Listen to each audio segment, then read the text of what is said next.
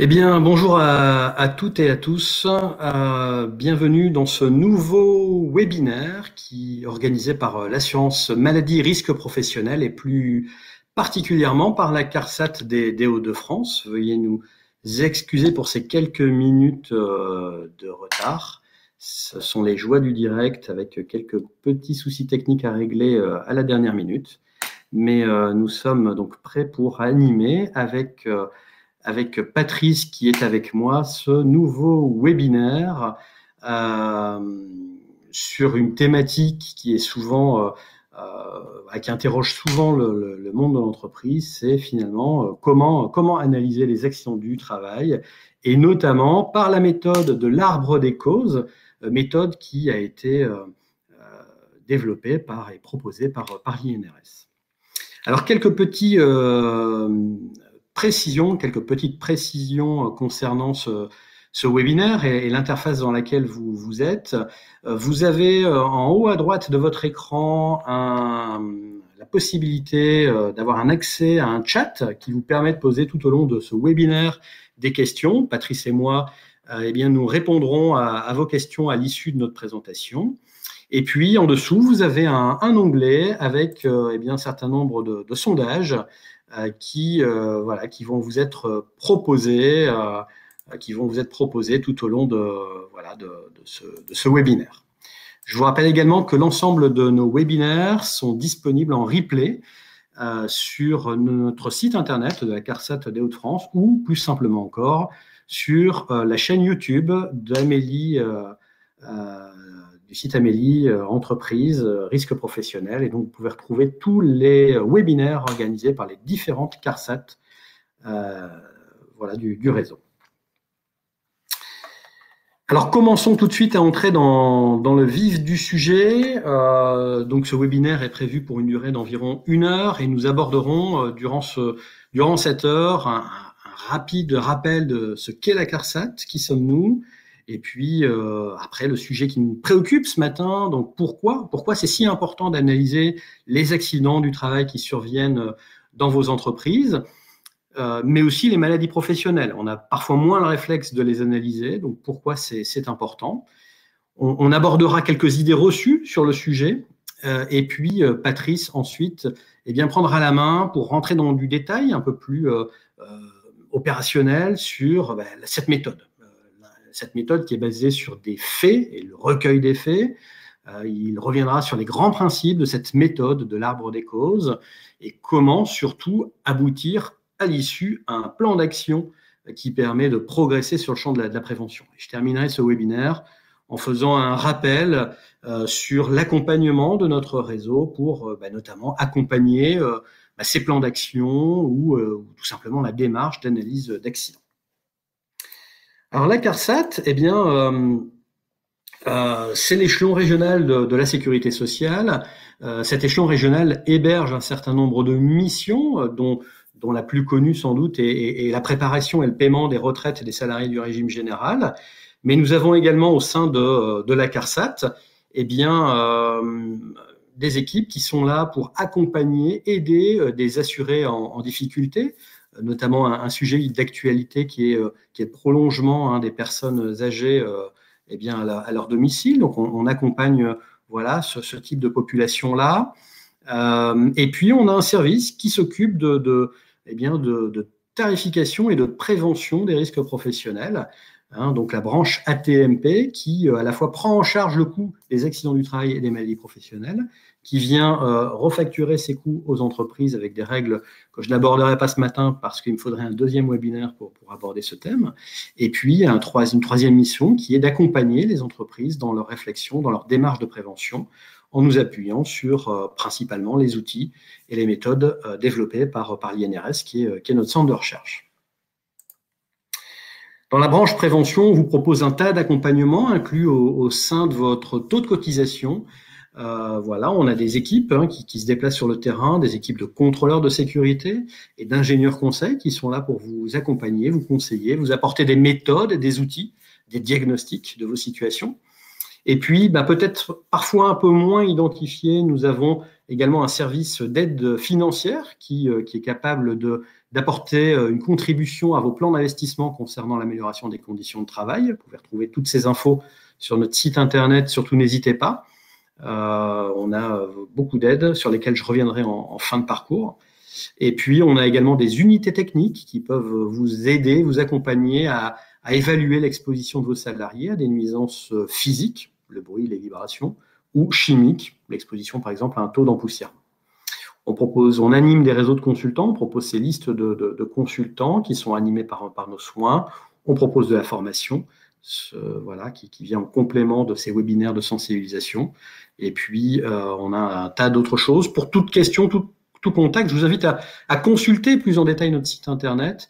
Et puis, euh, pourquoi pas nous envoyer euh, vos questions au travers de l'adresse générique qui se situe en bas à gauche de cette diapositive et vous aurez une réponse dans, les meilleurs délais.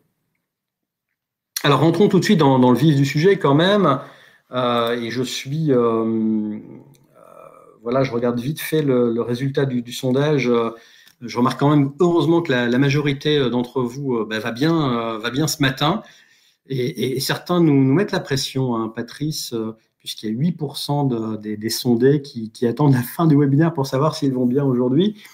Moi, c'est bien, c'est bien de nous challenger comme ça. Donc, euh, j'espère qu'effectivement, le pourcentage de gens qui iront bien euh, augmentera d'ici la fin de, cette heure passée ensemble. Alors, pourquoi analyser les athées? Ben, Déjà parce qu'il y a des enjeux. Il y a énormément d'enjeux pour l'entreprise. On pense souvent à l'enjeu humain, c'est vrai, hein, parce que voilà, derrière, il y a potentiellement des victimes, des victimes euh, bah, qui peuvent d'ailleurs avoir des séquelles, euh, des inaptitudes ou des séquelles à vie. Donc, il y a des conséquences pour, pour les individus qui constituent euh, les entreprises, qui constituent la richesse des, entreprises. Il y a des enjeux juridiques. Ça aussi, parfois, on, y pense. Hein. Il y a une responsabilité civile de, l'entreprise vis-à-vis de, de l'accident du travail ou de la maladie professionnelle. Donc la responsabilité civile, tout simplement, ça va être la prise en charge des coûts associés à ces événements. Et puis, il y a potentiellement une responsabilité pénale. Voilà, s'il y a une infraction à un code, eh bien, euh, effectivement, il y a un certain nombre de personnes au sein de l'entreprise qui peuvent euh, avoir exercé une responsabilité euh, pénale. Et puis, il y a des enjeux économiques. Hein. parfois, on n'y pense pas toujours, mais effectivement, bah déjà, le taux de cotisation que vous êtes amené à payer, euh, et que seul l'employeur paye, hein, c'est un taux de cotisation où le salarié ne contribue pas, eh bien ce taux de cotisation, il est directement lié, en tout cas dans la majorité des cas, à votre sinistralité. Encore une fois, les règles sont un peu complexes, a quelques exceptions, mais il est lié directement à votre sinistralité. Et donc, bah, c'est un taux qui est différent d'une entreprise à, une autre et qui est euh, un vrai gage, un indice en tout cas de performance de l'entreprise. Et puis on n'y pense pas, mais au-delà du coût direct, il y a un, tas de coûts indirects. L'INRS estime ces coûts indirects à quatre fois euh, la somme des coûts directs. Et, ça, ça impacte directement euh, la performance de l'entreprise. Alors ça va être quoi les coûts indirects? Je vais prendre quelques exemples. Bah, ça va être par exemple l'absentéisme. Hein, derrière, bah, si j'ai un salarié qui est, absent pour cause d'accident ou de maladie, professionnelle, eh bien, ça va désorganiser le fonctionnement de, mon équipe. Je suis en capacité de remplacer bah, je vais devoir accueillir, euh, euh, je vais devoir tutorer la personne, passer du temps, et, je ne serai même pas sûr d'avoir la même qualité de, de, prestation, la même productivité. Et si je ne peux pas remplacer, bah, je vais devoir reporter la charge de travail sur les autres et donc forcément désorganiser les équipes et pas non plus, enfin, perturber le, fonctionnement de l'entreprise. Donc tout un, tas de coûts indirects qu'il faut surtout pas négliger. Et donc, vous voyez, face à ces enjeux-là, eh bien, ça explique qu'il y a nécessité de mettre en place une démarche, une méthode pour euh, venir analyser ces événements euh, malheureux et donc mettre en place, voilà, c'est une démarche de, prévention. La démarche de, prévention, euh, elle, doit s'appuyer absolument sur une méthode. Hein. On peut souvent se dire, tiens, oui, bon, c'est du bon sens, je vais imaginer assez rapidement ce qui s'est passé, prendre les mesures adéquates face à, ce qui s'est passé.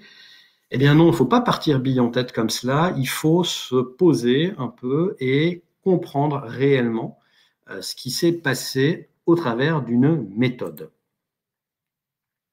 Et oui, il ne faut pas passer à côté d'un certain nombre d'éléments. Un événement malheureux, un accident, un incident, l'apparition d'une maladie professionnelle, c'est jamais le fait d'une seule cause. Il y a toujours plusieurs causes qui euh, amènent par concordance à arriver à cet événement malheureux. On pense aussi souvent qu'il peut y avoir des comportements euh, bah, du, salarié euh, bah, qui n'étaient pas euh, très sécuritaires et qui ont abouti à l'accident.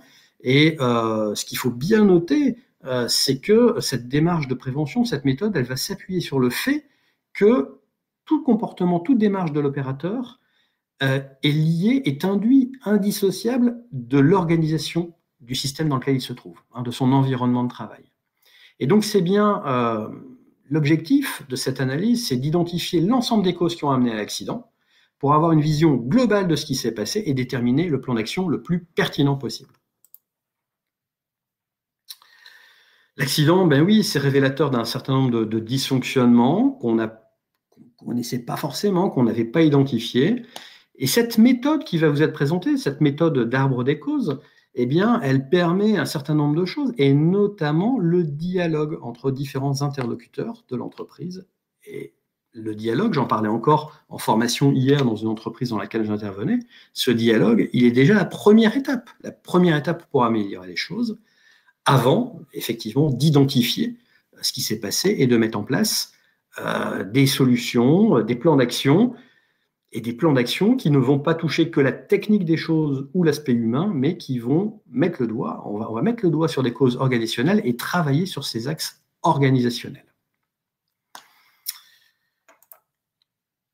Quelques idées reçues quand même, je voulais passer quelques, quelques minutes euh, là-dessus. C'est des idées qu'on, reçues qu'on entend souvent euh, au sein des entreprises dans lesquelles nous sommes amenés euh, à intervenir ou que l'on rencontre lors de, de formations que l'on dispense sur le, sur le sujet. La première idée reçue, c'est que, euh, bah oui, euh, on fait cette analyse pour trouver des responsables. Hein, d'ailleurs, il y a parfois des entreprises qui nous disent, bah moi, je convoque le salarié qui, euh, a eu un accident du travail. Mais non, l'objectif de l'analyse d'accident, c'est de comprendre ce qui s'est passé. C'est absolument pas de mettre le doigt sur les responsabilités. Ça, c'est autre chose. C'est un autre débat. La démarche de prévention, elle est là pour, vraiment identifier ben, pourquoi ça s'est passé, identifier comment l'environnement de travail, comment l'organisation elle a abouti à ces dysfonctionnements-là, et surtout de mettre en place des solutions pour éviter que ce type d'accident-là se reproduise ou qu'un événement similaire se produise. La deuxième idée reçue, c'est que euh, on peut pas faire l'analyse sur les victimes. Alors euh, parfois, on a des entreprises qui disent bah oui, mais moi j'ai pas encore fait l'analyse parce que bah, le salarié il a plusieurs semaines, plusieurs mois d'arrêt. Mais il faut pas attendre il ne faut pas attendre, parce que si j'attends plusieurs semaines ou plusieurs mois que le salarié revient, euh, bah, forcément, euh, un accident similaire peut se reproduire. Donc on peut tout à fait mener une première analyse avec les témoins, avec des personnes qui sont euh, exposées aux mêmes situations de travail, hein, des collègues directs de la personne qui a eu l'accident, et puis déjà faire une première ébauche d'analyse. Cette analyse, on pourra la compléter, bien entendu, au retour de la victime, mais on peut déjà comme ça mettre en place un premier plan d'action pour éviter quand même un accident. Ils font convoquer les victimes de l'accident à leur retour. Bah, ça fait écho au premier point que j'évoquais tout à l'heure. Mais non, encore une fois, on n'est pas dans la recherche de coupables. On est là pour agir dans une méthode participative. Donc, on veut comprendre avec la personne, la victime, bah, ce qui a pu se passer et aussi arriver à ce que cette personne-là eh bien, fasse preuve de, proposition d'amélioration. Et donc, pour ce faire, eh bien, il faut, euh, je dirais, créer un climat de confiance dans cette analyse. L'art déco, c'est facile. Alors, oui, ça peut être euh, assez simple. Vous allez voir, euh, Patrice d'ailleurs va très bien présenter la méthode, donc ça, peut paraître simple. Toutefois, nous vous recommandons de suivre une formation adaptée à la question euh, pour ne pas passer quand même à côté d'un certain nombre d'éléments méthodologiques, et notamment de, de, certaines causes racines in fine. Nous vous proposons pour information, et la plupart des CARSAT vous proposent des formations sur le sujet d'une durée de deux ou trois jours. Dans notre région, on propose une formation action en trois jours avec un exercice intercession. Et donc, euh, surtout, n'hésitez pas à vous former sur le sujet. L'arbre d'écho, c'est long à faire, c'est trop long comme méthode. Alors c'est vrai que c'est un investissement, ça va quand même demander euh, du temps à plusieurs personnes, hein, ça c'est sûr, mais c'est un investissement. C'est un investissement et les temps d'échange, encore une fois, que vous allez passer à discuter de l'accident, encore une fois, c'est une première étape de mener. C'est déjà une première chose dans l'amélioration de mener. Et puis, encore une fois, c'est un investissement pour que des événements, des événements qui touchent à la performance de l'entreprise ne se reproduisent plus. Donc, c'est un investissement qu'il faut mener, absolument. Rien ne change après, de toute façon. On l'entend parfois de la part de, salariés dans certaines entreprises. Et oui, l'objectif de l'analyse d'accident, hein, d'ailleurs, c'est le même objectif que l'évaluation d'un risque professionnel, c'est d'aboutir à un plan d'action. S'il n'y a pas de plan d'action, effectivement, ça ne sert pas à grand-chose. Enfin, pas à grand-chose, si, parce qu'il y a eu quand même le dialogue. S'il n'y a pas de plan d'action, on ne va pas aller très loin. Et donc, il faut veiller à la fois à mettre en place un plan d'action qui touche la technique, j'ai dit tout à l'heure, l'humain, l'organisationnel. Patrice reviendra là-dessus tout à l'heure. Et surtout, faire le suivi hein, du plan d'action. Et de montrer bah, ce qui a été fait. On est super avancé. Et puis, montrer, ben oui, il y a peut-être des choses qui n'ont pas eu lieu, qu'on n'a pas pu faire, parce que finalement, on a changé notre fusil d'épaule, on a eu euh, une autre priorité qui est apparue, finalement, on n'a pas eu de budget, pourquoi pas C'est pas un échec en soi, mais il faut l'expliquer. Il faut l'expliquer à, nos collaborateurs pourquoi, pourquoi, euh, pourquoi ça n'a pas fonctionné. Donc, il faut montrer ce qui a changé après ces analyses d'accident. Voilà, je propose de te passer la main maintenant, Patrice, pour euh, parler de la méthode en tant que telle. Oui, merci Sébastien. Bonjour à tous. Donc, euh, j'ai rencontré quelques petits soucis techniques au tout début, donc j'espère que ça se reproduira plus. On va croiser les doigts. Euh, alors, pour, euh, avant de rentrer dans le vif du sujet et vous parler directement de, l'arbre des causes, euh, on se doit de, faire un, petit récapitulatif du premier webinaire qu'on avait fait sur l'analyse des accidents du travail et, de parler du recueil des faits, qui est un incontournable pour la réussite de l'analyse d'un accident du travail. On a l'habitude de dire que c'est plus de 50% de réussite. C'est-à-dire qu'en gros, euh, un recueil des faits euh, qui serait incomplet euh, ne vous permettra pas de recueillir l'ensemble des causes et donc d'établir un bel arbre des causes. Et donc forcément, derrière, ne vous permettra pas d'avoir des mesures de prévention qui permettront de, supprimer ou de, réduire ou, de faire en sorte que cet accident ne se reproduise plus. Alors un fait, c'est quoi? Un fait, c'est quelque chose qui sera toujours vérifié ou vérifiable. Euh, qui peut être mesuré ou mesurable, qui peut être quantifié, quantifiable. Donc voilà. En tous les cas, ce n'est pas contestable. C'est-à-dire qu'à partir du moment où on a un fait, on est obligatoirement tous d'accord. On ne peut pas en discuter pendant des heures. De toute façon, c'est comme ça. Donc le fait est, quelque chose de concret. Un fait, en règle générale, c'est quelque chose de bref, de précis. Euh, et en gros, euh, un sujet, un verbe, ou un sujet, un verbe et un complément peuvent tout simplement expliquer un fait. Alors, pour aller un peu plus loin, hein, euh, on va vous expliquer un peu la différence là avec deux cas. Hein. Quand, on, quand on ne prend pas en compte les faits, on est tout de suite dans le jugement, hein, dans, dans, une opinion, dans, un sentiment. Alors, on vous donne deux exemples ici, euh, deux exemples qui pourraient, pour certains, dire la même chose, mais euh, dans, le premier cas, on n'a pas de fait. C'est-à-dire que si on dit il semble qu'il était peu habillé et qu'il faisait froid, euh, pour nous, peu habillé, c'est une opinion, puisque peu habillé pour certains ne sera pas peu habillé pour d'autres. Certains diront un pull suffit, d'autres diront il faut un manteau. pareil, il faisait froid. Que veut dire il faisait froid? On n'est pas tous pareils. Pour certains, on va avoir froid à 20 degrés, pour d'autres, il nous faudra 25 au minimum. et si on veut transformer cette phrase sur une phrase factuelle, il va falloir être plus précis. Et là, on dira par exemple, eh ben, il était habillé d'un t-shirt. C'est observable, c'est un fait observable. Et là, on ne pourra pas contredire. On le voit tous. Personne ne pourra dire euh, oui, mais non, c'était un t-shirt. Et pareil pour la température. La température était de 10 degrés. Elle est vérifiée, elle est mesurable. Et là, bon, bah, c'est tout. Euh, tu peux dire que tu as froid, tu peux dire que tu as chaud. Néanmoins, il fait 10 degrés. Et là-dessus, on est tous d'accord.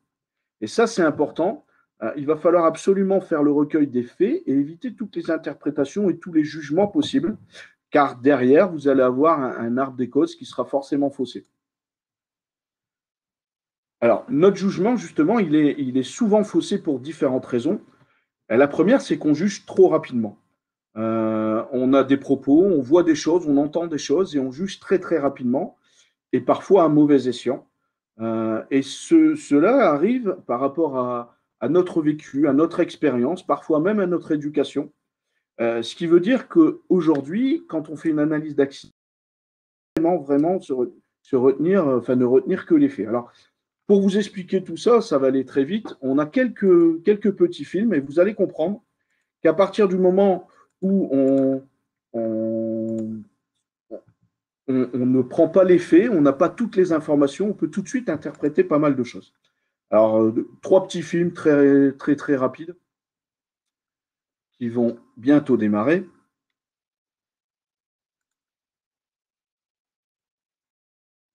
Voilà, ça vient.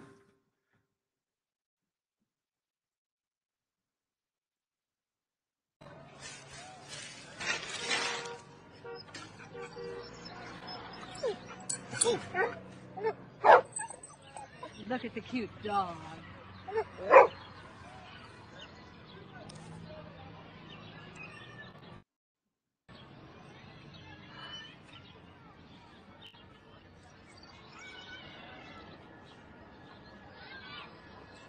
Je crois qu'on n'a pas besoin de vous faire un dessin pour euh, se rendre compte de ce qui s'est passé. Donc les, personnes n'ont pas vu le début de l'action. Et du coup, derrière, on interprète. Alors, deuxième petit film, ça vous fera aussi un peu sourire de toute façon.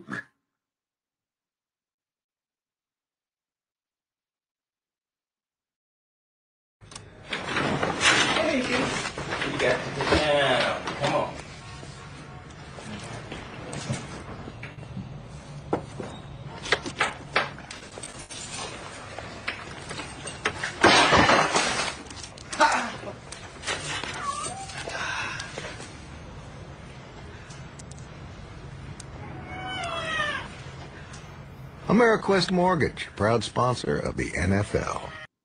Pauvre chat. Et un petit dernier, hein. ça détend l'atmosphère en même temps. Alors pour certains, vous connaissez peut-être les films.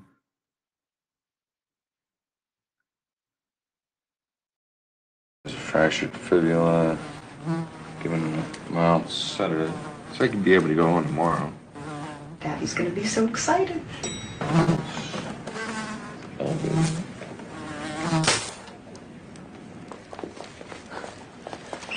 That killed him.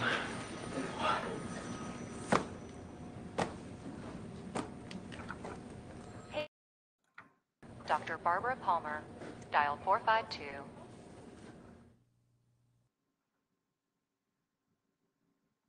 Voilà.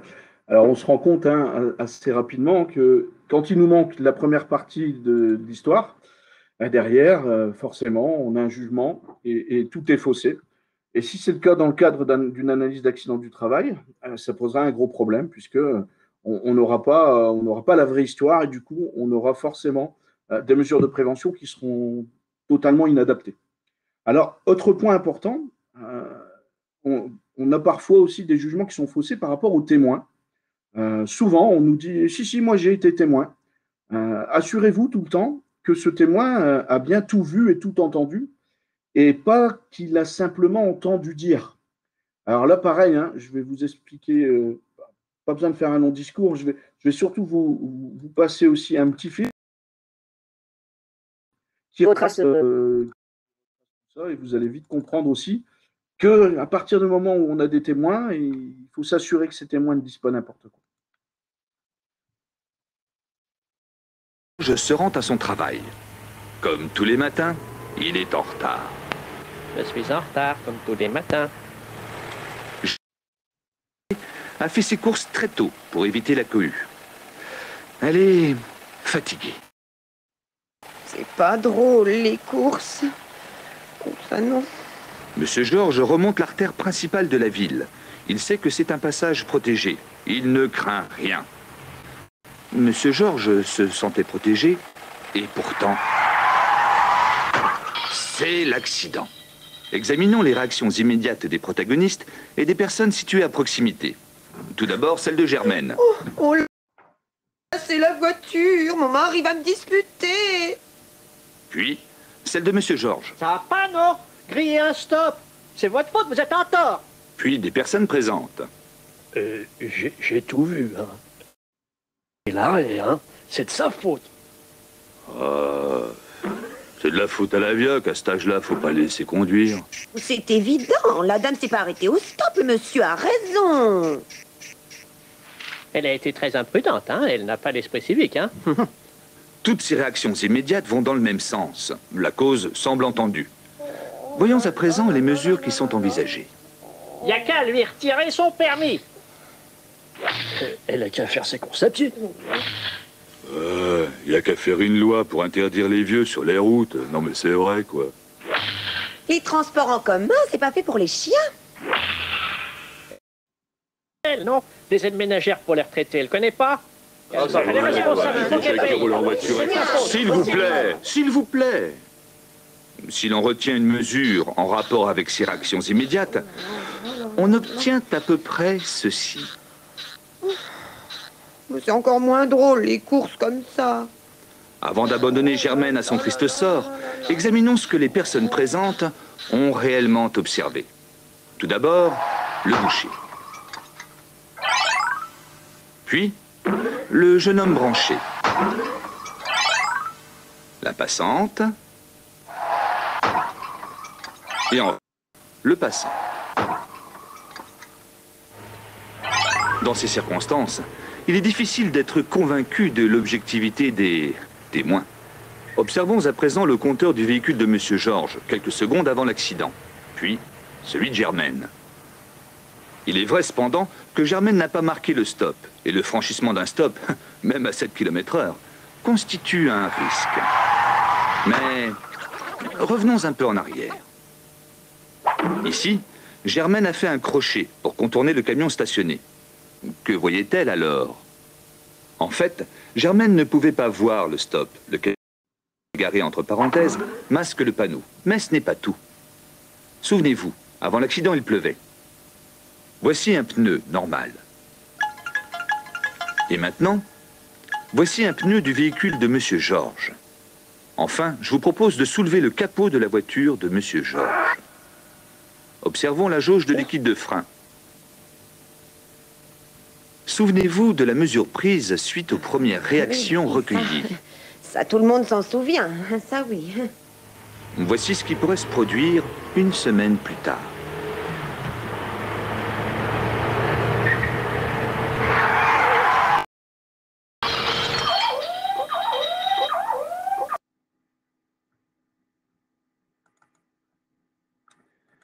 Voilà, alors là, on se rend très vite compte que les témoins n'avaient rien vu réellement. Et du coup, vous avez vu que les, mesures de prévention qui étaient prévues dès le départ euh, étaient totalement différentes de celles qu'on retrouverait normalement à la fin, après une analyse plus complète.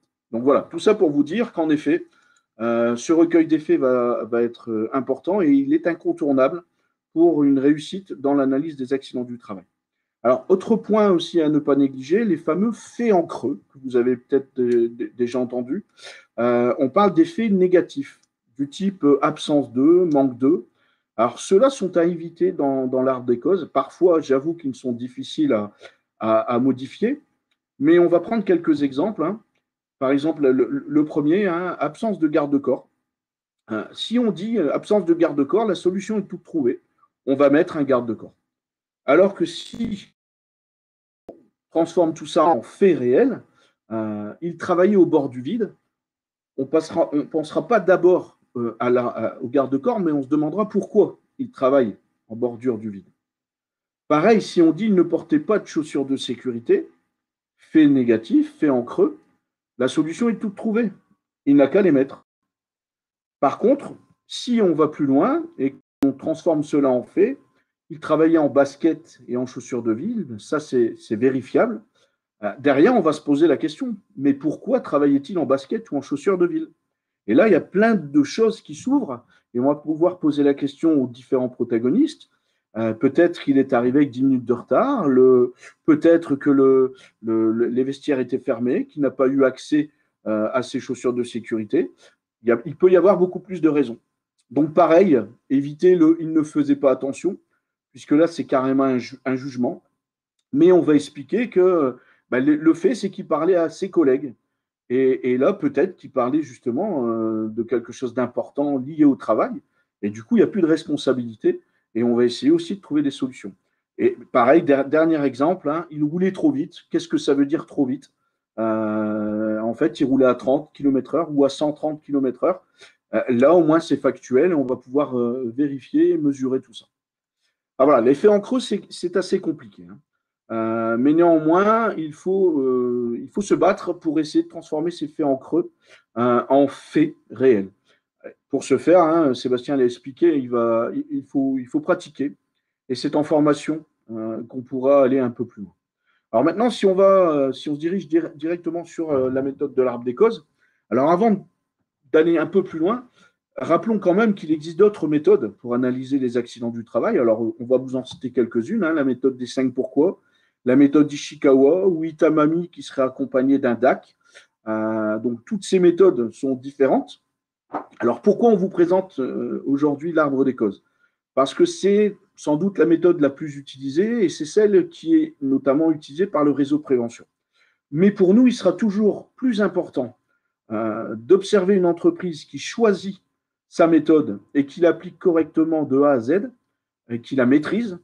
Donc, je préfère quelqu'un qui travaille avec une méthode 5 pourquoi et qui fait quelque chose de très bien, plutôt que quelqu'un qui va travailler avec l'arbre des causes sans avoir été formé et qui, euh, malheureusement, sans maîtriser l'outil, ne va pas réussir à faire une bonne analyse.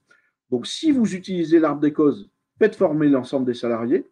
Sinon, utilisez une autre méthode qui vous convient. Donc là, voilà, ça, c'est la première chose.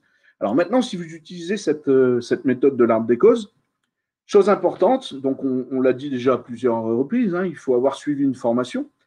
Et puis aussi, il faut analyser l'accident à plusieurs. Alors là, vous avez deux, petits dessins. Celui de gauche est assez clair aussi. Hein. Suivant l'endroit dans lequel on se positionne, on va avoir quatre barres ou trois barres. mais qui a raison? Bah, En fait, les deux ont raison.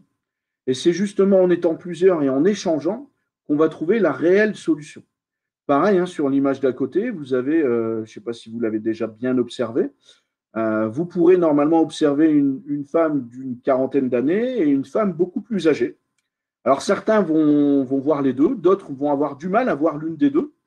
Euh, et puis certains vont d'abord voir la jeune, d'autres la plus ancienne. C'est une question de goût peut-être, ça je ne sais pas. Mais néanmoins, pareil, si jamais on va trop vite, on va, rester bloqué sur ce qu'on a vu en premier. Et derrière, on ne va pas avoir une ouverture d'esprit. Donc l'objectif sera d'être à plusieurs, puisque justement, à plusieurs, on va pouvoir échanger et peut-être modifier nos jugements et partir sur quelque chose de réel, donc de partir sur des faits. Alors l'arbre des causes, hein, ce, n'est pas une, fin en soi, on parle de méthode, on parle d'un moyen. Ce n'est pas une théorie de l'accident, mais c'est bien une technique de prévention. C'est une technique qui va vous permettre d'aller beaucoup plus loin sur l'analyse de vos accidents. Alors elle ne va pas se substituer à d'autres outils, c'est-à-dire qu'on peut très bien euh, utiliser un Ishikawa et puis ensuite enchaîner sur un, arbre des causes euh, pour être sûr de ne pas oublier certains faits. pour ceux qui connaissent un peu la méthode Ishikawa, comprendront pourquoi j'explique ça. Alors, comme je l'ai dit, hein, ça nécessite un travail collectif. Alors, collectif, euh, ça ne veut pas dire non plus 20, puisque derrière, il faut pouvoir échanger. Alors, on parle toujours d'un nombre impair, puisque je vous ai dit tout à l'heure, justement, qu'il va falloir trancher. Et quand on est un nombre impair, évidemment, c'est toujours plus facile de trancher. Donc, en règle générale, on parle de 3 ou 5 personnes on peut aller à sept personnes, mais ça commence à être compliqué, puisque là, les échanges sont, sont, un peu plus lourds. Donc, en règle générale, trois à cinq personnes, c'est plutôt intéressant. Mais j'insiste sur le fait que ces trois ou ces cinq personnes doivent avoir suivi une formation et avoir justement travaillé sur des cas pratiques pour pouvoir maîtriser cette méthode. Alors, cette méthode qui va justement permettre euh, de comprendre le processus de l'accident, donc en gros de comprendre toute l'histoire, du début à la fin. Et c'est ça qui est, qui est intéressant, c'est qu'on va pouvoir aller le plus en amont possible, et vous verrez, pour trouver des, solutions qui seront beaucoup plus adaptées et surtout plus pérennes et qui permettront non seulement de supprimer cet accident, mais sans doute de supprimer d'autres accidents. Et encore une fois, mais là je reviens sur ce que Sébastien disait, euh, on ne recherche pas de responsabilité, hein. on a recherché des causes pour trouver des solutions. La responsabilité, ce n'est pas de notre sort, et donc pas du vôtre, évidemment. Donc c'est un outil euh, d'effet constitutif de l'événement, ça on l'a dit.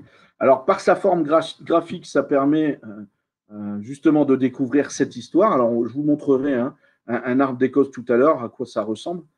Ce qui est important, c'est qu'il permet d'ouvrir un dialogue dans l'entreprise. Et donc, il va permettre de réduire les polémiques, puisqu'on n'utilise que des faits. Quand on aura un enchaînement de faits, personne ne pourra dire bah non, c'est pas ça. Ben si, c'est ça. C'est mesurable, c'est quantifiable, c'est vérifiable. On est tous d'accord. Et forcément, c'est bien ce qui s'est passé. Et quand on a ce qui s'est passé, on aura forcément trouvé le pourquoi de l'accident. Et ça nous mènera, et c'est ça l'objectif, à nous poser la question maintenant, que faire pour éviter que cet accident ne se reproduise? Et vous verrez, Sébastien parlait d'un plan d'action, parce que c'est quand même euh, la priorité. Hein. on doit arriver, on doit aboutir à un plan d'action quand on fait une analyse d'accident du travail. Le plan d'action sera facile à mettre en place, en tous les cas, à, à, à décider des actions par rapport à ce qu'on aura fait sur la méthode de l'arbre des causes. Alors pareil, hein, il faut remonter à la genèse de l'accident, ce, que je disais tout à l'heure, il faut aller très très loin, ce qui veut dire qu'on va peut-être mettre le doigt sur l'organisation du travail, euh, sur des choses qui, ont été faites dès la conception, et on va peut-être remettre en cause certaines choses. Ce qui veut dire que derrière, il va falloir aussi, si jamais on, explique cela à, nos dirigeants, expliquer que, bah voilà, on a mis le doigt sur quelque chose. Ça ne veut pas dire que tout ce qui est fait est mauvais, euh, mais peut-être que c'est perfectible et peut-être que ça demande euh, une réflexion pour peut-être améliorer l'existant. Et ça, c'est quelque chose d'important parce que l'objectif sera encore une fois de trouver des, mesures de prévention qui sont efficaces et qui seront acceptables et je dirais pour lesquelles tout le monde va adhérer. Ça, c'est important aussi. Alors, l'arbre des causes, donc représentation graphique, je ne vais, pas le redire. Alors, on travaille sous forme de bulles et euh, surtout, il ne doit y avoir qu'un fait par bulle. Ça, c'est important. Alors, on démarra toujours du fait ultime, qui en, règle générale est la blessure hein, et, l'incident. Alors maintenant, si vous faites un arbre des causes sur autre chose qu'un accident du travail, vous pouvez le faire aussi, bien évidemment. Le fait ultime ne sera pas forcément une blessure. Euh, mais là, dans ce cadre-ci, forcément, le fait ultime qu'on mettra à droite, on verra tout à l'heure, ce sera toujours euh, la lésion. Ensuite, il se construit de la droite vers la gauche. On verra tout à l'heure qu'il y a des questions à se poser pour pouvoir remonter le temps. Et ça, c'est important. Et on pourra le lire ensuite de gauche à droite pour voir si justement on a un problème ou pas, si tout ce qu'on a vu était possible. Alors, point aussi intéressant, euh, il faut savoir que si vous avez deux groupes qui travaillent sur un arbre des causes, on n'aura pas forcément tout à fait le même arbre des causes. Les branches vont pouvoir être différentes. Néanmoins, si le recueil des faits a été fait correctement, on aura tous les faits qui seront, qui seront intégrés. L'histoire sera la même. Et puis surtout, derrière, on aura des mesures de prévention qu'on pourra trouver de la même manière. Alors voilà, trois questions. Ça, c'est important. Alors, ça va vous paraître un peu infantilisant quand vous allez l'utiliser. Mais je vous assure qu'il faut absolument se battre et faire en sorte de se poser à chaque fois ces trois questions. Si vous oubliez notamment les deux dernières, euh, vous allez à un moment donné vous tromper et vous allez forcément fausser votre arbre des causes.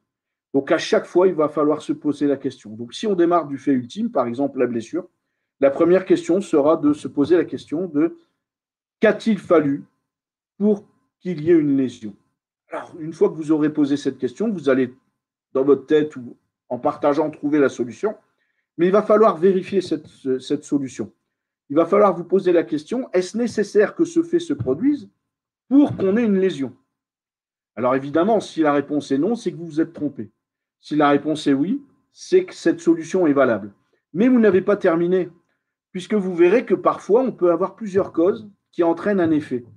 Et il va falloir se poser une troisième question. Est-ce que ce fait est suffisant pour que la lésion se produise? Et si ça n'est pas le cas, ça veut dire qu'on aura plusieurs causes qui vont entraîner cet effet. Alors, on va, passer euh, après sur un petit, exercice et je vous, je vous, montrerai rapidement comment ça fonctionne. Donc, je vous ai dit un fait par bulle. Encore une fois, un fait, c'est un sujet, un verbe ou un sujet, un verbe et un complément. Le sens de, de construction, c'est de la droite vers la gauche, mais on mettra une flèche de la gauche vers la droite entre chacun des faits pour pouvoir relire l'arbre des causes de gauche à droite en utilisant c'est parce que que. Vous verrez, c'est là, ça, vous paraît euh, un peu anodin, mais avec l'exemple, vous allez le comprendre un peu plus facilement. Donc, vous allez pouvoir avoir plusieurs choses dans votre arbre des causes. On peut avoir un fait qui entraîne une conséquence. Donc, une cause, une conséquence. Dans ce cas-ci, on parle d'un enchaînement, euh, c'est-à-dire que X est nécessaire et il est suffisant pour que Y se produise. Donc, on s'est posé les trois questions. Pourquoi Y? Eh bien, Y s'est produit parce que X s'est produit. Vous avez vérifié, était-ce nécessaire que X se produise pour qu'on ait Y? Si c'est le cas, c'est que c'était bon. Et est-ce que X suffit pour que Y se produise? Si c'est le cas, c'est bon aussi. vous avez posé les trois questions et là, vous pouvez continuer. Alors, il se peut, c'est ce que je vous disais tout à l'heure, que à ces trois questions, on est la première, donc on a trouvé une solution qui est X1. Derrière, on l'a vérifié en se posant la question est-ce nécessaire que X1 se produise pour avoir Y? La réponse est oui, donc c'est bon. Par contre, on se rend compte que X1 seul n'est pas suffisant. C'est-à-dire qu'il faut qu'il se passe quelque chose en même temps pour obtenir Y. Il faut que X1 et X2 soient nécessaires pour que Y se produise. X1 seul ne sera pas suffisant, X2 seul ne sera pas suffisant. Alors, on parle d'une conjonction. Deux causes entraînent une conséquence. Alors, si vous ne retenez pas le terme conjonction, ce n'est pas bien grave. Ce qui est important, c'est que vous sachiez qu'on peut avoir plusieurs causes pour la même conséquence. À l'inverse, on peut aussi avoir une cause pour deux conséquences. Et donc, quand on va se poser la question, on va se rendre compte qu'on aura plusieurs solutions. Euh, et surtout que X est nécessaire et suffisant pour entraîner deux causes. Alors là, on parle d'une disjonction. Encore une fois, le terme, si vous ne le, retenez pas, ce n'est pas bien grave. Vous pouvez avoir une cause et deux effets derrière. Donc avec euh, l'exemple, ça va aller mieux. Donc là, par exemple, il y a un exemple très simple. Hein. Euh, je circulais dans le séjour, j'ai glissé, je suis tombé et me suis blessé.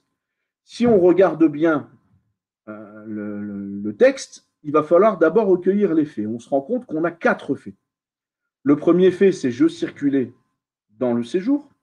On a un deuxième fait qui est j'ai glissé. Un troisième fait qui est je suis tombé. Et enfin, le quatrième, je me suis blessé. Le fait ultime sera je me suis blessé. Donc, si on rédige l'arbre des causes à partir de ces, trois, de ces quatre faits, on va démarrer ici par le fait ultime, le 4, la blessure. Qu'a-t-il fallu pour que je me blesse? La réponse est il a fallu que je chute. On se pose la deuxième question était-ce nécessaire que je chute? Bien, évidemment, dans ce cas-là, pour que je me blesse La réponse est oui, donc c'est bon. Et était-ce suffisant pour que je, chute, pour que je me blesse? C'est le cas. Donc on s'arrête là, c'est bon. Et on va vérifier tout de suite de gauche à droite en utilisant le c'est parce que que. Donc c'est parce que j'ai chuté que je me suis blessé. Imaginons qu'on avait fait l'inverse, c'est parce que je me suis blessé que j'ai chuté, on aurait très vite compris que c'était pas bon. Donc pensez à chaque fois à relire votre arbre des causes avec la méthode c'est parce que que et n'attendez pas la fin de l'arbre des causes pour tout relire. Faites-le suivant les étapes. Donc on continue, on a chuté. Qu'a-t-il fallu pour qu'on chute? Eh bien, il a fallu qu'on glisse. Était-ce nécessaire que je glisse pour chuter? Oui. Était-ce suffisant? Oui. Ok, donc on continue. C'est parce que j'ai glissé que j'ai chuté, et c'est parce que j'ai chuté que je me suis blessé. Jusque-là, c'est plausible. On continue. Qu'a-t-il fallu pour que je glisse? Et il a fallu que je me, place, je me déplace dans le séjour. C'est est-ce nécessaire? Oui, en effet, il fallait que je me déplace dans le séjour pour que je glisse. Est-ce suffisant? Et là, on se rend compte que non. On se rend compte que ce n'est pas parce que je me déplace dans le séjour que je glisse. Sinon, à chaque fois que je me déplacerai, je glisserai tout le temps. Donc, ça veut dire qu'il nous manque un élément, il nous manque un fait. Et ce fait, il va falloir se poser la question et essayer d'aller chercher ce qui s'est passé là en 5. Alors, ça peut être, euh, il y avait de l'eau au sol, euh, ça peut être, euh, il y avait, je sais pas, il y, avait du bois par terre et, j'ai buté dedans. Mais en tous les cas, un seul ne convient pas pour entraîner le 2. Il faut le point 1 et le point 5 en même temps pour que le 2 arrive. Et si on relie, c'est parce que je me déplaçais dans le séjour et quand vous avez la même chose sur la même ligne, on met un et entre deux. C'est parce que je me déplaçais et qu'il y avait de l'eau que j'ai glissé. C'est parce que j'ai glissé que j'ai chuté et c'est parce que j'ai chuté que je suis tombé. Voilà, alors ça, c'est un cas simple. Évidemment, quand on, travaille sur un arbre des causes d'un accident du travail, c'est quand même plus compliqué. Alors, vous allez avoir un, arbre des causes qui peut, qui peut partir un peu comme ça. Hein. Vous allez avoir plusieurs branches. Donc, au départ, vous avez votre fait ultime, et puis derrière, vous avez des faits qui peuvent, être entraînés par plusieurs faits. Et donc, vous allez avoir quelque chose qui s'étoffe. Ce qui est certain, c'est que tous les faits qui vont être proche de, du fait ultime, donc sur la droite. Ce sont des faits qui exposent directement au risque.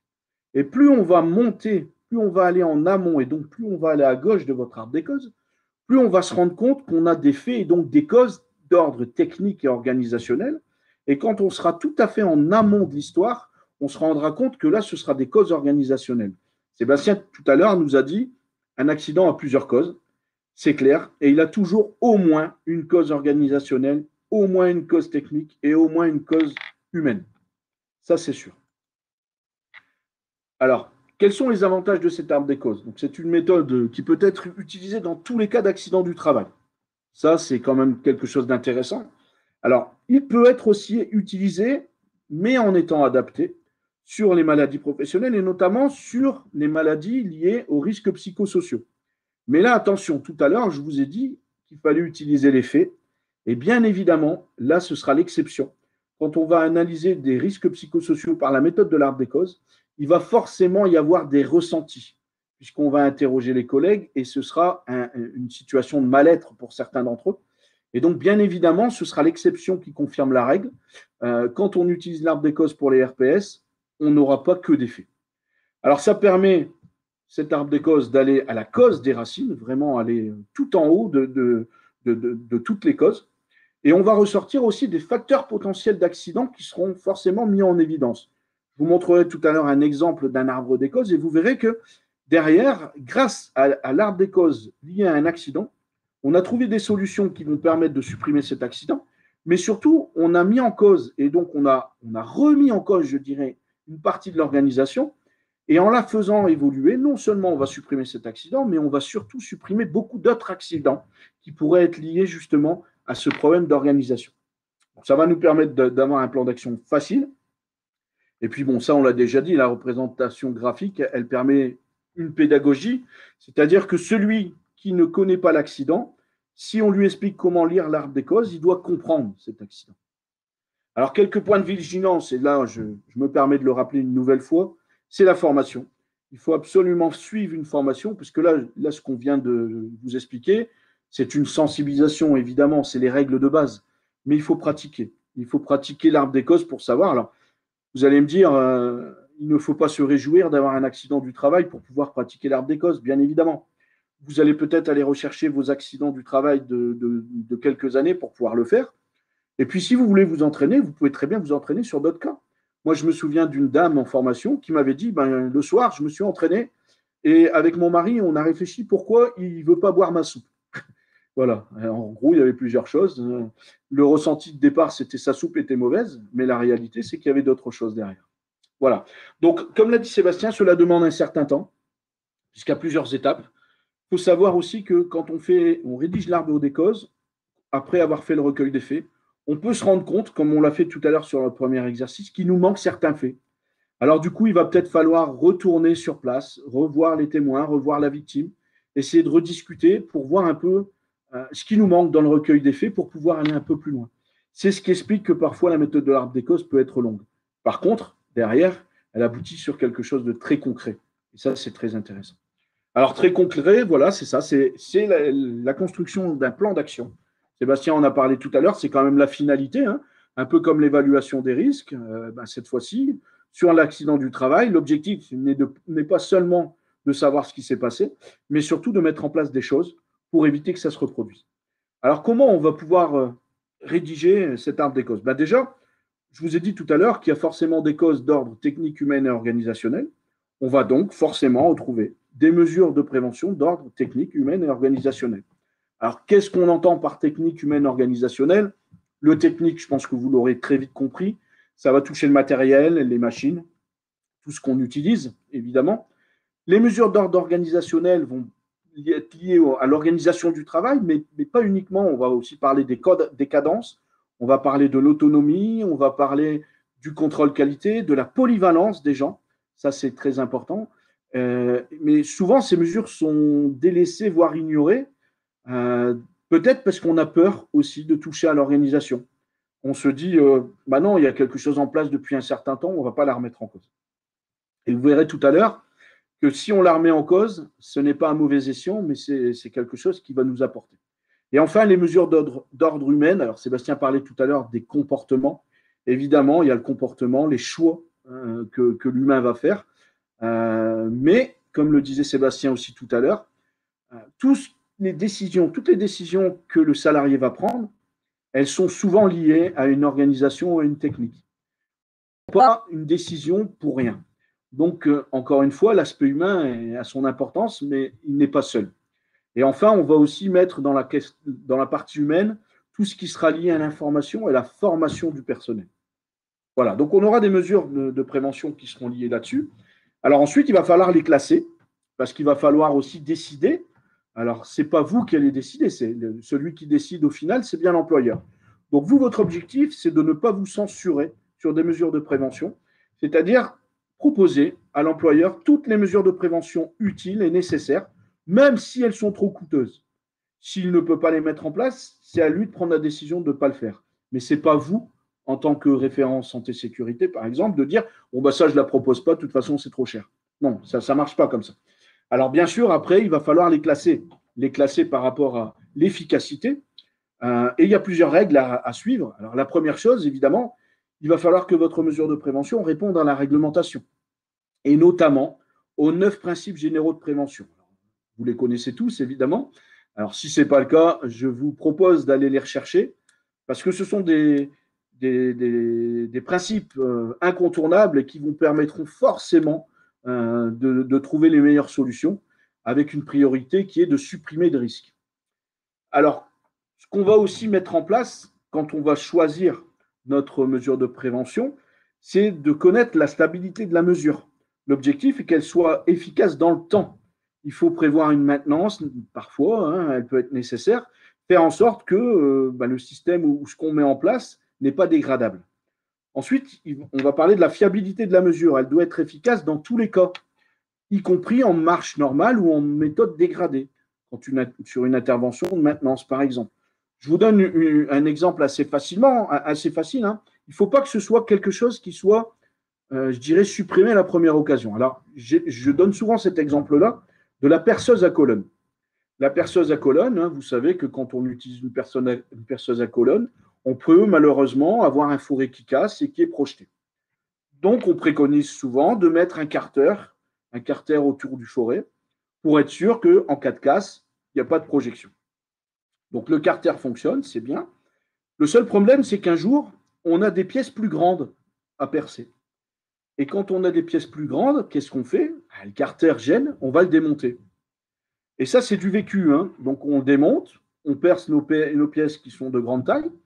Derrière, on rechange de système, on reprend les pièces qui sont plus petites, mais on ne remet pas le carter pour gagner du temps. Donc il est posé à côté. Ensuite, on a le salarié qui vient de l'équipe suivante. Bah, lui, il ne sait pas. Donc il continue. Et puis euh, le carter reste là à côté pendant 2-3 jours jusqu'au jour où ben, le personnel qui fait le ménage euh, ben, le déplace. Et au final, on se retrouve avec le carter qui se retrouve à la benne. Et il n'a servi à rien, il a été supprimé. Donc voilà, l'objectif est de, s'assurer que ce ne sera pas démontable ou pas chintable, je dirais, à la première occasion. Autre point important, la portée de la mesure. Si vous avez, par exemple, plusieurs presses, presses plieuses et que vous avez fait une analyse liée à une presse plieuse, que vous avez trouvé des solutions sur cette presse, il va falloir bien évidemment mettre en place les solutions sur l'ensemble de votre parc presse plieuse. Il ne s'agit pas d'utiliser euh, les solutions uniquement sur l'endroit où vous avez, eu, votre accident. Donc il va ensuite falloir adapter les mesures euh, par rapport à l'activité du salarié. Il ne s'agit pas de lui donner des contraintes supplémentaires. Euh, je vous donne par exemple encore un autre exemple. on se dit, ben, tiens, on avait un stock ici hygiène. Donc on le déplace. On le déplace tout au bout et voir dans l'atelier d'à côté. Alors c'est super maintenant, on a de l'aisance, on peut travailler. Sauf que toutes les, heures, le salarié doit aller chercher euh, le matériel pour pouvoir alimenter son poste de travail. Et là, du coup, il est exposé à un risque de TMS et un problème de dos. Donc on a à déplacer le risque. Alors attention, hein, justement, à la création d'un nouveau risque. Un autre exemple, hein, un jour, je, me rends dans une entreprise dans laquelle j'avais demandé d'installer un, système d'aspiration des fumées de soudage. Donc, euh, l'employeur me dit, euh, Monsieur Grémont, prévenez, vous allez voir, c'est super, on a mis un bras, un bras aspirant, c'est super, ça fonctionne. Alors, j'y vais, en effet. Euh, le soudeur utilisait le bras aspirant, il n'y avait plus de fumée ou très peu de fumée, c'était parfait. Mais je lui pose la question, vous rejetez tout ça où? Alors, il me dit, c'est filtré c'est rejeté, mais je ne sais pas. Alors, je dis, ben, on va suivre le tuyau, parce que vous savez que quand on rejette de l'air, même si c'est filtré, il reste un peu pollué. Et en fait, on s'est aperçu que c'était rejeté dans l'atelier d'à côté, c'est-à-dire qu'il y avait un menuisier qui, lui, ne soudait jamais, et il se retrouvait avec des, fumées de soudage dans son atelier. Donc ça aussi, ce sont des choses qu'il faut prendre en compte. Alors évidemment, ensuite, deux autres points importants, c'est de connaître le délai sur la, sur la réalisation des mesures, à court, à moyen ou à long terme. Et le dernier point, qui n'est pas le, moins important, bien évidemment, mais encore une fois, qui ne concerne que l'employeur, c'est le coût pour l'entreprise. Il y a des choses qu'on pourra faire, il y a des choses qu'on ne pourra pas. Euh, et ça, il faut être réaliste. Hein il y a des moments où on ne pourra pas faire la meilleure des, solutions parce que, parce que derrière, l'entreprise euh, ne pourra pas assurer tout ça. Donc, on passera malheureusement sur la deuxième solution. Euh, si elle est efficace, c'est très bien. Par contre, si elle n'est pas assez efficace, il va falloir trouver des mesures compensatoires et trouver un moyen quand même pour mettre en place la première tôt ou tard. Voilà, donc ça, ce sont des choses qui sont très, très importantes. Alors, avant de terminer et de repasser la, main à Sébastien, je ne vais pas vous expliquer cet arbre des causes, mais c'est un exemple d'arbre des causes.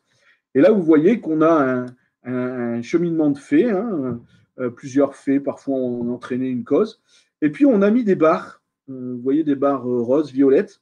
On a cassé l'arbre des causes pour positionner des mesures de prévention. Et c'est ça l'objectif, c'est qu'une fois que vous aurez votre, arbre des causes, votre objectif sera de le casser pour mettre une mesure de prévention qui supprimera le lien entre le fait et la conséquence. Là, par exemple, vous voyez, si on prend tout à fait à droite, on a, euh, pour casser le, lien qui fait que le salarié est descendu de l'engin, on va l'interdire de descendre de l'engin. Là, vous avez bien compris que c'est quelque chose d'humain. On, on, est sur, euh, on n'est pas sur quelque chose de technique ni d'organisationnel. Euh, ça va durer ce que ça durera? On va peut-être supprimer euh, un peu l'accident, mais un jour, ça reviendra. Et vous voyez que plus on va aller en amont, et plus on va se retrouver avec des mesures de prévention qui sont techniques ou humaines. Et si on prend celle qui se situe le plus à gauche, par exemple, euh, on se rend compte que c'est il faut instaurer donc un système pour la périodicité de la maintenance. Et donc, si on met une maintenance préventive, bah, les freins ne seront jamais usés. Mais si les freins ne sont jamais usés, si on les change avant qu'ils soient complètement usés, et bien derrière, on supprime toute la partie de droite. Résultat, on n'aura pas l'engin qui va nous rouler dessus, mais on n'aura pas tous les accidents qui seraient liés justement à ces freins qui seraient défectueux. Voilà. Ça, c'est rapide, hein. Euh, on peut aller beaucoup plus loin, mais moi, je vous conseille fortement de vous euh, à une de nos formations ou une, formation auprès d'un organisme habilité qui, dispense les formations à des causes euh, pour aller un peu plus loin et pour euh, utiliser des cas pratiques. Voilà, donc Sébastien, je te repasse la main. Merci, merci en tout cas Patrice pour toutes ces explications qui, je l'espère en tout cas, ont déjà éclairé en partie un certain nombre d'entre vous sur des questions que vous pourriez vous, vous poser. Donc, je vais vous montrer maintenant et vous, vous, présenter quelques, quelques nouveautés, notamment dans, dans notre accompagnement, ce que l'on peut vous proposer. Je rappelle que notre accompagnement, bah, il est inclus au travers du taux de cotisation que vous êtes amené à, à payer. Euh, et, et, pendant que je fais cette présentation, surtout n'hésitez pas à poser vos questions. Je vois que dans les sondages, un certain nombre d'entre vous indiquent avoir des problèmes pour mener à bien leur analyse d'accident. Donc, bah, n'hésitez pas. Hein, toutes les questions sont, bonnes à, poser. Il euh, n'y a pas de voilà, faut pas faut pas avoir peur de poser vos, questions et, Patrice et moi-même prendrons euh, quelques minutes à l'issue euh, de, cette dernière courte partie pour répondre à un maximum de, questions. Alors tout d'abord une petite nouveauté dans, le réseau et, surtout euh, qui a été donc édité par la CARSAT des Hauts-de-France. Eh bien on vous propose un jeu de plateau, un moyen un peu ludique, un peu un peu différent euh, pour sensibiliser vos collaborateurs eh bien, à la nécessité euh, de participer à cette démarche d'analyse d'accident, un jeu qui permet en une heure pour 4 à 6 joueurs eh bien, euh, de, de s'immerger dans une entreprise au travers de, de, trois scénarios différents et de comprendre, de combattre en tout cas des idées reçues autour de l'analyse d'accident et de, comprendre voilà les grands principes de l'analyse. Alors c'est pas une formation, hein, attention, euh, c'est une heure, ça dure une heure. C'est vraiment pour faire un premier, un premier vernis, un premier, euh, première sensibilisation à, ces choses-là. Donc il y a trois scénarios. Un scénario de chute dans les escaliers, qui est le premier type d'accident. Hein. Les chutes sont les premiers types d'accidents du, travail. Euh, un scénario lié à un limbago, quand un salarié soulève un carton. Et un dernier scénario sur une agression euh, par, un, client pas content dans, l'entreprise, à l'accueil de l'entreprise. Ce jeu de plateau, il est disponible. Vous pouvez le commander euh, en cliquant sur le lien qui sera donc dans le support, qui sera mis, euh, en ligne et qui sera mis dans le chat. Euh, il est disponible pour toutes les entreprises de la région des Hauts-de-France, pour les entreprises malheureusement euh, hors région qui souhaiteraient ce jeu. Vous avez la possibilité euh, eh bien, de télécharger une version imprimable de ce jeu, de ce jeu qui ressemble je dirais un petit peu un jeu de Cluedo où on va essayer de comprendre en allant discuter et observer les différents lieux de, travail dans l'entreprise de ce qui s'est passé. Risk Hour. Euh, D'ailleurs, on, va mettre dans le chat le, le, lien direct pour, pour, aller, pour, aller, voir, le, pour aller voir ce jeu et, et plus d'éléments. Euh, ensuite, on vous propose des formations. Patrice est longuement euh, voilà, euh, abordé le sujet. Alors, on propose plein de formations. Je vous en ai euh, indiqué trois ici sur cette, sur cette diapo, mais vous pouvez aller bien sûr creuser le, le, sujet, aller voir toute notre offre de formation. Alors, il y a des formations où on vous envoie vers des organismes qu'on habilite, mais il y a aussi des formations que l'on effectue directement au sein de la CARSAT, donc sans frais pédagogiques, hein, toujours inclus au travers du taux de cotisation. Euh, et là, je vous, en, ai mis deux. Euh, qui, sont sans doute celles où il y a le plus d'inscrits. Donc, c'est obtenir des compétences de base en prévention, un jour, un jour, 7 heures pour euh, un petit peu mesurer les enjeux et comprendre euh, eh bien, les enjeux et les méthodes de, de, prévention. Et après, pour entrer plus concrètement dans le sujet, donc en trois jours, une formation action, euh, deux jours plus un jour, un, un travail à intercession sur l'analyse des accidents du travail et des maladies professionnelles. Donc là où on va vraiment euh, construire, euh, vous, épauler pour construire et surtout regarder les difficultés que vous pouvez rencontrer, notamment bah, lors du travail d'intercession, puisqu'on on invite chaque, stagiaire à, faire une analyse d'un incident, d'un accident, d'une situation dangereuse, pour pouvoir le troisième jour débriefer tout cela. Et puis associé à tout cela, on propose un e-learning pour sensibiliser les dirigeants.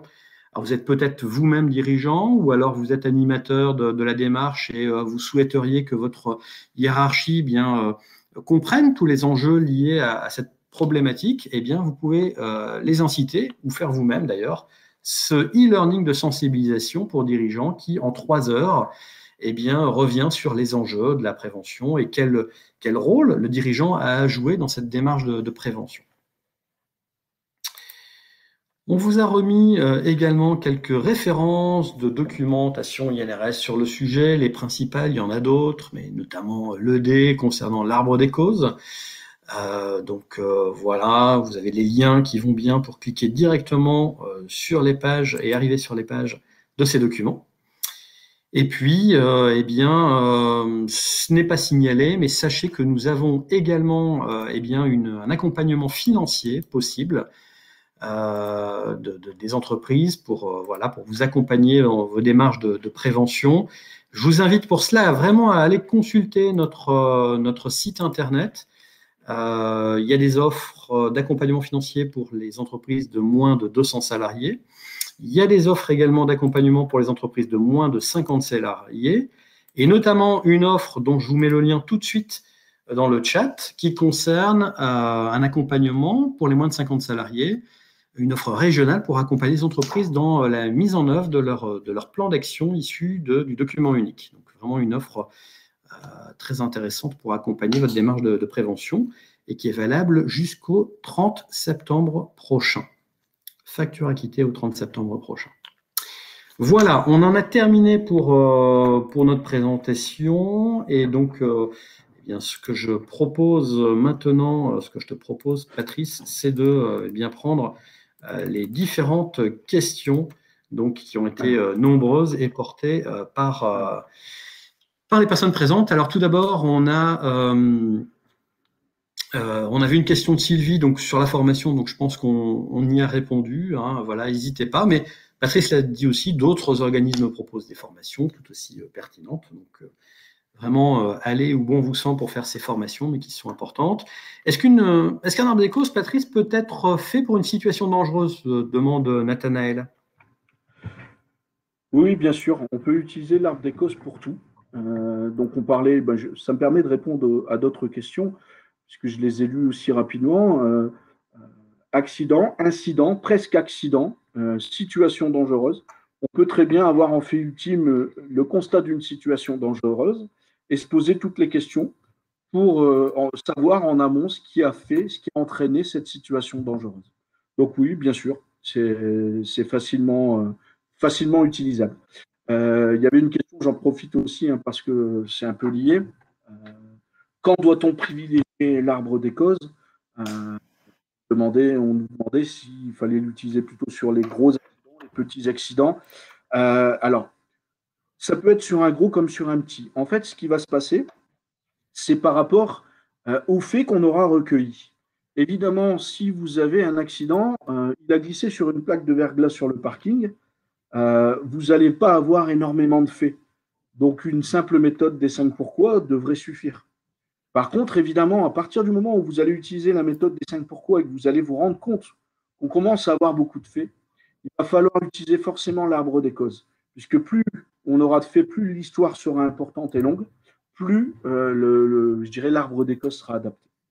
Alors, petit point aussi que je rebondis par rapport, euh, je voulais le faire, mais comme on est passé tout de suite sur les questions, par rapport à la formation, euh, la, la CARSAT donc, dispense ce type de formation.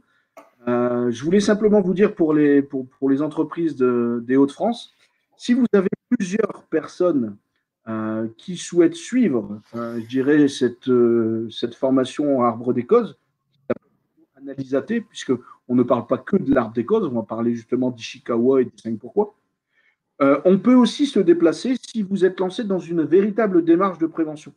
C'est-à-dire qu'on peut faire un stage en intra, on peut venir chez vous et former plusieurs personnes euh, sur ces méthodes. Mais derrière, on va forcément continuer à vous suivre pour voir si, euh, vous analysez vraiment vos accidents du travail. Voilà, c'était juste euh, un petit conseil que, je voulais apporter en, supplément. Merci Patrice. Alors on, a une question de, Maggie, voilà, qui, nous dit, qui nous indique, j'aimerais analyser mon propre analyse, mon propre AT. Alors bien sûr, vous pouvez analyser et, faire partie de cette, de cette démarche. Hein. C'est toujours intéressant on, incite les entreprises à, euh, je dirais, à, ce que la, victime fasse partie euh, de, cette équipe euh, d'analyse. Voilà. Par contre, il ne faut pas être seul pour analyser son, propre AT. C'est vraiment un travail collectif, participatif. C'est vraiment important d'être à plusieurs, d'avoir des, points de vue différents, des regards aussi différents, pour que l'analyse soit la plus riche possible et la définition derrière d'action la plus pertinente aussi également. Donc vraiment, ce qu'il faut retenir, c'est qu'il faut le faire il faut le faire à, plusieurs, il faut le faire euh, euh, ben, en allant notamment sur le lieu de l'accident, sauf un cas effectivement singulier qui apparaît dans, au travers de quelques questions et qui est euh, le cas du télétravail et de, ben, du travail à, domicile. Quand on est salarié à, domicile, ben, voilà, c'est effectivement extrêmement complexe hein, avec la législation, eh d'aller sur le lieu, le lieu de travail du coup qui est, qui à domicile. Dans ce cas, on peut procéder autrement. Hein. Euh, de manière exceptionnelle, on, peut ne pas aller sur, sur le lieu de l'accident et puis euh, bah, se baser sur euh, voilà, le retour du salarié et, essayer de, recouper, bien entendu, de recouper les, éléments pour avoir une, vision la plus précise de, ce qui a pu se produire. Mais bien sûr, il faut également analyser ce type d'accident. ça me permet de rebondir, hein, puisqu'il y a Michel M hein, qui peut faut-il analyser les accidents du trajet domicile-travail Alors oui, bien sûr, vous pouvez le faire, encore une fois. Euh, la seule difficulté, euh, c'est sur le recueil des faits, encore une fois, puisque là, vous, n'aurez pas peut-être l'ensemble des faits et vous ne pourrez malheureusement euh, vous y tenir qu'au témoignage de la victime, sauf évidemment dans le cas d'un accident grave, où là, vous aurez peut-être un rapport de police, mais c'est toujours un peu plus compliqué. Mais rien ne vous empêche de le faire, bien au contraire. Alors après, on a, une série de questions euh, autour de voilà des, personnes qui se blessent au dos, qui ont des douleurs au dos, qui ont peut-être des, pathologies d'ailleurs euh, personnelles, des histoires, des histoires cliniques personnelles.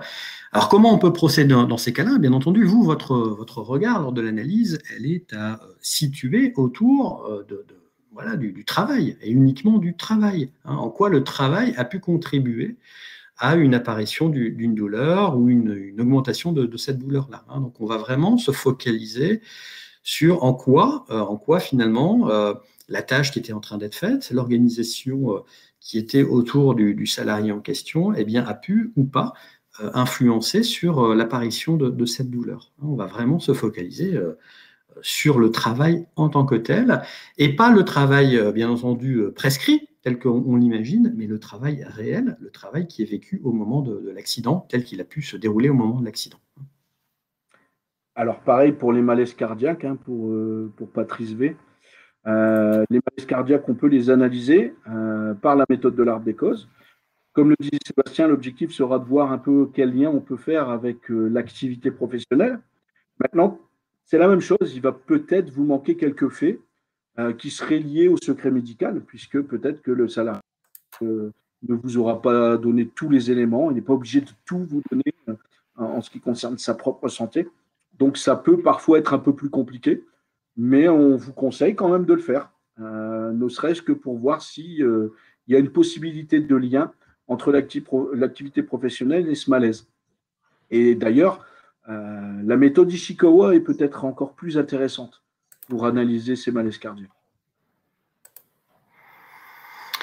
Des questions sur le jeu. Le jeu est-il payant? Peut-on faire un essai? Ben, Vous pouvez tout simplement le commander. Le jeu, il est gratuit. Encore une fois, vous pouvez avoir une boîte physique. Donc, si vous, votre entreprise est implantée dans, les Hauts-de-France, à défaut, eh bien, vous pouvez recevoir une version téléchargeable à imprimer et qui est tout aussi jouable que le jeu, physique. Alors, euh, quelle solution mettre en place lorsque euh, finalement, euh, bah, durant cette analyse, on met en évidence une cause extérieure à l'entreprise, exemple de la coactivité Alors, dans le cas de la coactivité, bah, il faut faire intervenir l'ensemble hein, des, acteurs au sein de, l'analyse. Donc, d'ailleurs, il y avait une autre question sur bah, qui faut mettre dans ce groupe pluridisciplinaire. Si vous arrivez à mettre des représentants du personnel, c'est effectivement très intéressant. Ça ne peut qu'apporter du, plus à la, démarche d'analyse. Et quand il y a un, un de la coactivité, ben oui, il faut, le faire avec l'entreprise euh, intervenante, l'entreprise extérieure, c'est extrêmement important. Et, et le plan d'action qui en découle, ben, il doit être construit ensemble, parce qu'il y a des actions qui vont peut-être toucher l'entreprise d'accueil, peut-être des actions qui vont toucher l'entreprise extérieure, et peut-être des actions qui vont toucher les deux parties. Donc il faut le faire, il faut le faire ensemble.